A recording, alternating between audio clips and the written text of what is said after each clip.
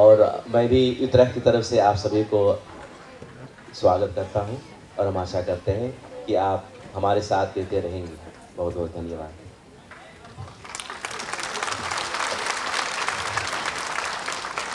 भैया लाल बहादुर।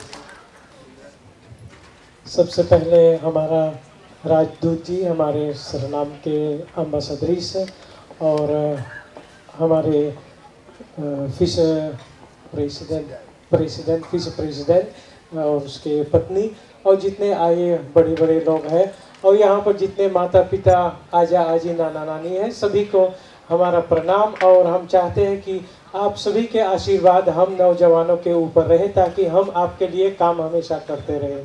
धन्यवाद। माला। अब हम क्या बोले? आप लोगों सभी को बहुत से धन्यवाद। आप ही लोगों की बहुत से संजोग दिया है नी हॉक के बढ़ा, आगे बढ़ाने के लिए।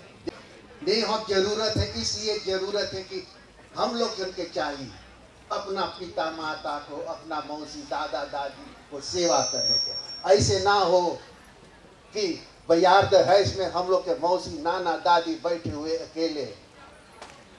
वो बकरा लोग जो है मीद वो कोशिश करते हैं। सब खुए बदूले सदून खुद है वैरत बाकी तब वो जो हम लोग के अपना आदमी रहे, हिंदी में कुछ बतिया सके तो और अच्छा लगता।